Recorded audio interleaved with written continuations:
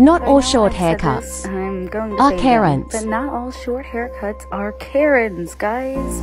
Karen is a mood. It is not a cut. All right. So this guest of mine is um, actually going through cancer. Um, she had breast cancer about 10 years ago, had chemo, and her hair really thinned out. And now it has come back, and she is doing radiation. And her hair is super fine, super thin. She knows that getting a textured cut, going a little shorter, is going to give her so much more body. And she's so happy. I'm, you know what, honestly, like, I wasn't going to say this, but anybody that's going through cancer and needs a fresh cut, I'm going to do it at no charge.